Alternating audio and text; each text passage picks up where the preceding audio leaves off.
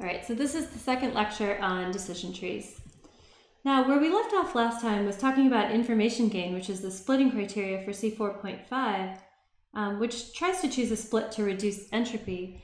But I'd like to point out an issue with information gain, which is it tends to choose splits that have, it, it tends to, to, to try to split too much. It tries to choose splits with a lot of branches, and that can, that can lead to overfitting. So for instance, if if you happen to have a split that would literally put every single data point in its own leaf, then information gain would be super happy. Like it would be, it, this would be the best possible value for information gain. But it would split way too much and it would just overfit because now you have each data point in its own leaf, which is not what you want.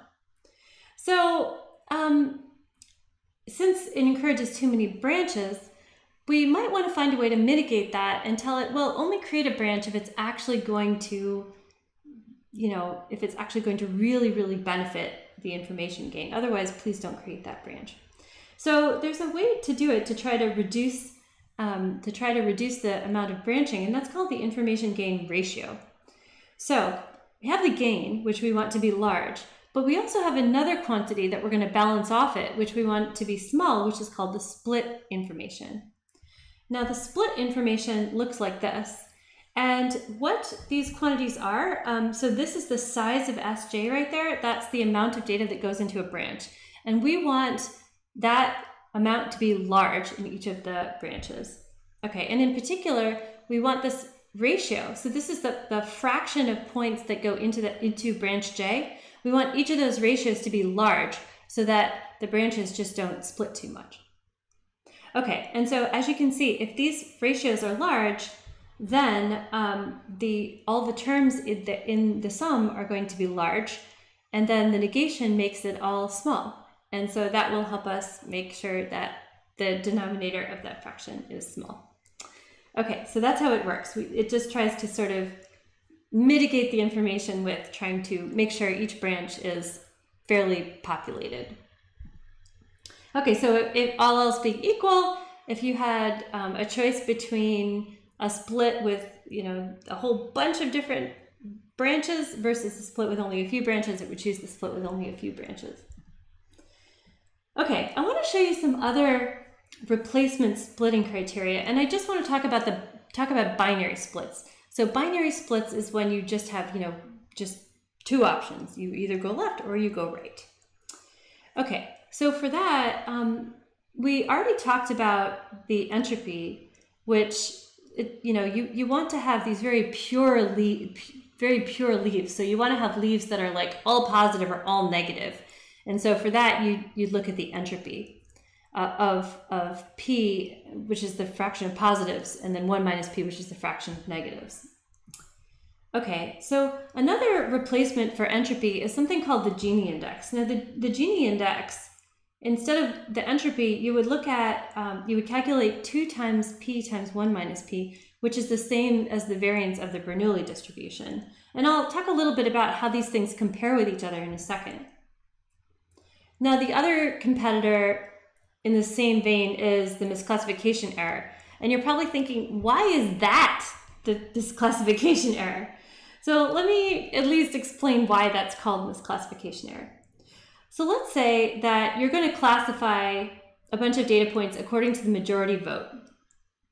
So if the if p, the fraction of positives, if that fraction is less than 0.5, you're going to vote negative. You're going to vote that these are mostly negatives, and otherwise you'll vote mostly positives. Okay? So we're just voting. You have a bunch of data points. Some are positive, some are negative. You're voting according to the majority vote. Okay, so let's let's see how let's take a look at the accuracy of this classification rule. Okay, so let's say we have six positives and four negatives. So what do we predict? We predict positive because there's six of them. There's more positives than negatives. So we predict positive. And so how many errors did we make? Well, we made four errors, four out of the 10, all right? So the, and the probability to vote positive is 0.6. And then if we compute 1 minus that max, the misclass what I call the misclassification error, okay, so the max is over 0.6 and 0.4. The larger of the two is 0.6. So 1 minus 0.6 is 0.4. So they agree with each other, right? The, the number, the fraction of errors we made is 4 out of 10. That agrees with this misclassification error, which is 0.4. Okay, so so far so good. So let's try another example. So we have 10 observations, 2 positive, 8 negative. We vote yo, no, because we have more, um, more negatives than positives.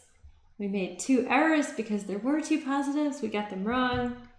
And our um, probability of error is 0.2. And then again, when I calculate this max, uh, inside the max, there's a 0.2 and a 0.8. The larger of the two is 0.8, so the number of errors we made is 0.2. So again, they agree with each other, so you're good. And I put a third one there just for fun. And so here we made um, three errors out of 10, so the probability of error is 0.3, and again, we get 0.3. So now you understand why this is the probability of error. It's the probability of error according to a majority vote rule. Okay, so I want to show you how these things compare with each other. And I just, I wrote a little bit of MATLAB code that I just put um, right there in the, in the, on the bottom of the screen there. And what I'm showing you are these three functions as, uh, uh, these are functions of p, which is the probability, uh, the fraction of positives, right? So as a function of the fraction of positives, um, I've plotted the entropy, the Gini index, and the misclassification error. As you, as you can see, they're actually very, very similar to each other. So in many cases, it doesn't really matter which one you use because they're going to split the data fairly, fairly similarly to each other. But I just wanted to point out that all three of these are valid splitting criteria. Um, so normally uh, when you're doing this, you would keep splitting kind of all the way to the bottom. You'd, you'd basically overfit the tree, right? You keep splitting until either all of the observations in each leaf have the same class, in which case there's no point splitting because you have pure nodes already. Or you could split until you run out of features. Like if you've split, if you only have eight features and you created, and, and you're down at depth eight, that means you've split on all the features already and there's nothing else to split on. You split on everything. So that's um, that's another way that you might that you you know that you would reach a stopping criteria and of course that's likely to overfit which is why you prune it back afterward okay um, and you're probably wondering well how do i know which splitting criteria to use i don't know it's just these are all heuristics as i mentioned and so you can try any of them um, or you can invent your own if you like. It's just a matter of what you what what floats your boat. Okay so in the next lecture i'll talk about uh, pruning